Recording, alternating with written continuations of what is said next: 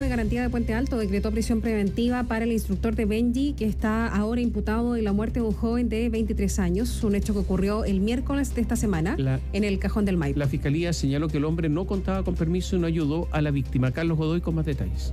Homicidio simple por omisión. Ese es el delito que el Ministerio Público imputó al instructor de Benji, que participó en el lanzamiento de un joven de 23 años que falleció este miércoles en el cajón del Maipo. De acuerdo con el relato del persecutor de la causa, el hombre no contaba con los permisos adecuados para operar, ni con la cantidad de personas necesarias, y tampoco el equipamiento óptimo para efectuar los lanzamientos de las personas que contrataban sus servicios. De igual manera, quedó en evidencia que el imputado no tenía la experiencia necesaria, dado que, según expuso la Fiscalía en la imputación, el hombre no instaló de manera correcta el arnés de la víctima, a la cual lanzó posteriormente al vacío. Es así como el afectado quedó colgando de cabeza de la cuerda y pese a que solicitó ayuda al guía, este no se la prestó, falleciendo a raíz de una asfixia posicional por compresión cervical externa. Todos estos antecedentes fueron revisados por Romina Oneto, jueza del Juzgado de Garantía de Puente Alto, quien decretó la prisión preventiva, considerando la naturaleza de los hechos y la forma de comisión del delito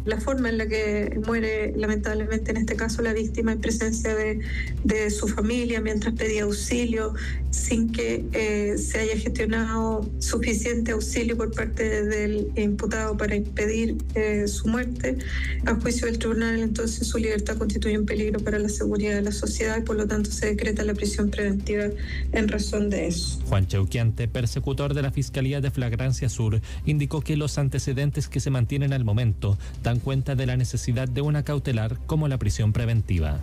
Según los antecedentes vertidos en la audiencia de control de detención, daban cuenta de que este sujeto se presenta como instructor de Benji, careciendo de los permisos para poder funcionar, como también no contando con los implementos necesarios para realizar dicha actividad.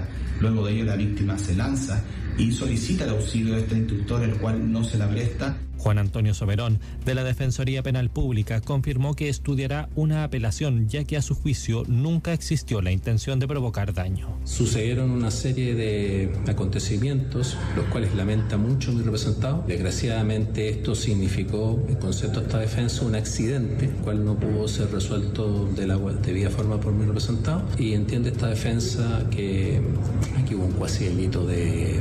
Un no hubo intención de producir ninguna muerte. El juzgado de garantía de Puente Alto decretó un plazo de 90 días para la investigación. 8 de la mañana, 35 minutos.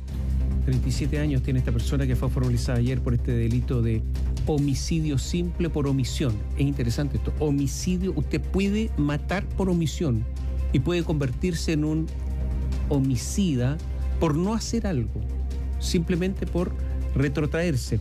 Eh, es un joven de 23 años que falleció justamente por lanzarse ahí en el Cerro Colorado, en el Cajón del Maipo. Em, ¿Por qué? ¿Qué es lo que dijo el fiscal Juan Cheuquiante de la Fiscalía Sur? Reveló que la causa de la muerte del joven fue asfixia posicional por compresión cervical externa, o sea, en la zona del cuello, compresión en la zona del cuello, y acusó a esta persona formalizada, em, lo acusó justamente de em, instalar de manera incorrecta el arnés del equipo del joven. El imputado, dijo el fiscal, instala de forma incorrecta el arnés. ¿sí? Para lanzarse en este, esta atracción hay que utilizar un elemento de protección, que es este arnés. Según el fiscal, lo instaló mal, lanzando a la víctima, Diego Albornoz, de 23 años, por el Benji, quedando este suspendido en el aire solicitando auxilio al imputado, quien, teniendo una posición de garante, no le prestó la ayuda necesaria, causándole la muerte consecuencia de una asfixia, dijo el fiscal. Y ahí está el tema. Teniendo una posición de garante, él es el que estaba a cargo de la seguridad. Él tenía, tenía la obligación de hacer algo. El no hacer nada lo convierte, lo convierte en homicida. Además, se recalcó que el imputado celebró un contrato de lanzamiento en Bangui con la víctima Diego Albornoz Coronado, presentándose el imputado como instructor de Bangui, careciendo de los permisos para funcionar, la cantidad adecuada de personas para operar y los implementos adecuados para la realización del lanzamiento. Precisó que la patente comercial de la empresa había vencido en diciembre del año pasado. Y esa es otra, otra falta, ¿no? El estar funcionando sin tener los documentos adecuados. El persecutor presentó los análisis de dos expertos en relación a las cuerdas y al arnés que vieron los videos, que además lamentablemente están estas imágenes, lamentablemente digo para su familia, ¿no? Para la investigación pueden, pueden servir, porque esta empresa eh, utiliza drones en las que graba estas imágenes y luego hace promociones en redes sociales, etcétera. Y ayer se revisaron estos videos. El fiscal leyó una declaración de Christopher González, que es un instructor de rescate en operaciones verticales, certificado y rescate técnico con cuerdas. Él dice que se trataba de un arnés del tipo industrial, el cual solo tiene una posición de trabajo, la que corresponde mantener la argolla dorsal del mismo en su parte posterior, específicamente entre las escápulas, en la espalda. Lo cual, al observar los videos que captaron el hecho, noté inmediatamente que este se encontraba mal puesto, dice él. Chauquiante, el fiscal. También recalcó que este experto advierte que el arnés estaba mal puesto y que no corresponde al que se debe utilizar en este tipo de actividades. O sea, es otro tipo de arnés.